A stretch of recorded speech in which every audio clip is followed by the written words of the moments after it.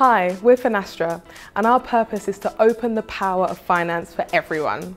We are creating a pioneering, open platform which is disrupting the industry and changing the way financial software is developed and used. As a large global organisation, we are big enough to be pushing boundaries, yet a tight-knit community where each and every employee feels they can bring themselves to work. We're about two things here at Finastra. Firstly, inclusion for all.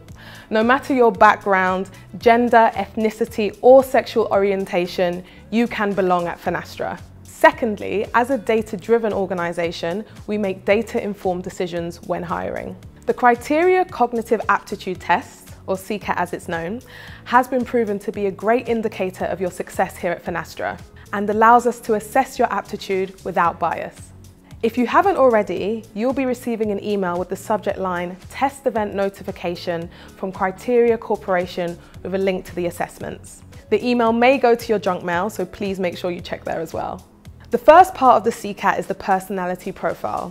This isn't timed, but it usually takes around 20 minutes to complete. The second is the cognitive assessment. This measures your critical thinking and problem solving abilities by looking at maths, spatial reasoning and verbal skills.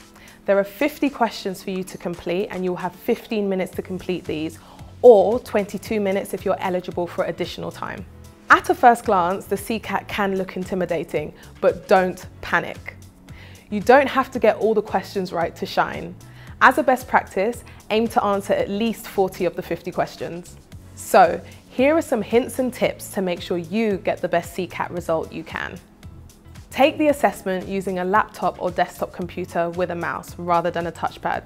Do not use a mobile device. Also ensure you are in a quiet, distraction-free zone with a strong internet connection. Read the instructions. The most common mistake is rushing through instructions. There is no time limit for this part, so make sure you take the time to read and understand everything thoroughly before you begin. Be conscious of time as you only have a limited amount to get through 50 questions. It's best not to spend too much time on one. If you find that you're struggling with a particular question, it's best to make an educated guess and move on. There is no penalty for wrong answers. Play to your strengths. Are you better at maths or verbal reasoning? Most people favour one or the other. Give yourself the best chance by focusing more time on the questions you're most comfortable with. For further help, there are several free practice tests available online. We recommend you trying at least one of these so you feel well prepared.